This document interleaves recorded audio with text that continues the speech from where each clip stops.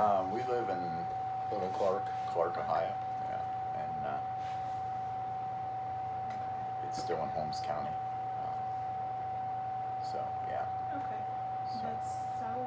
yeah, South south of- south of Millersburg. Okay. And how long have you each worked for the school? I'm here 15 years. I'll be here three years uh, next month. Okay.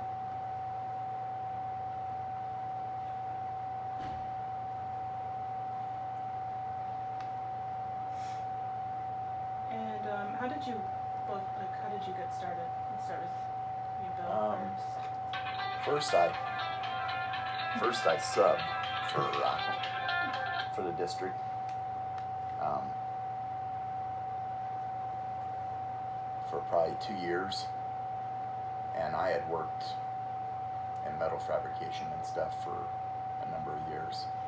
And then I went from it kind of things got really bad, so then I had an opportunity to to come to school here and sub and Mhm.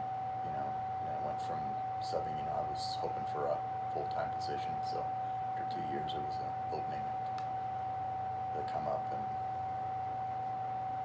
I interviewed for it and got it, so. But, yeah, it's,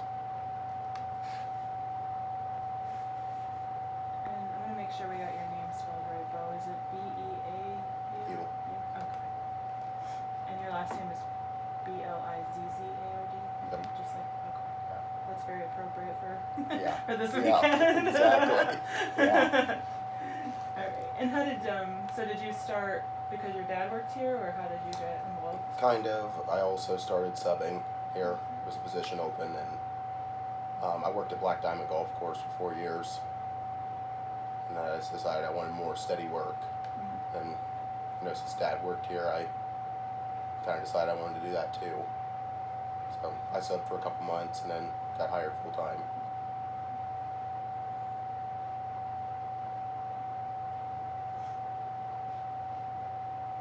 And what's it been like working with each other, kind of as almost as a team, but it's also as a team, but actually we don't see each other as much because okay, I do the high school end, And I do the junior high. okay, so we're kind of, you know, we see each other from time to time, but it's not like we're together all working the time. you know, together all day. Yeah. Okay.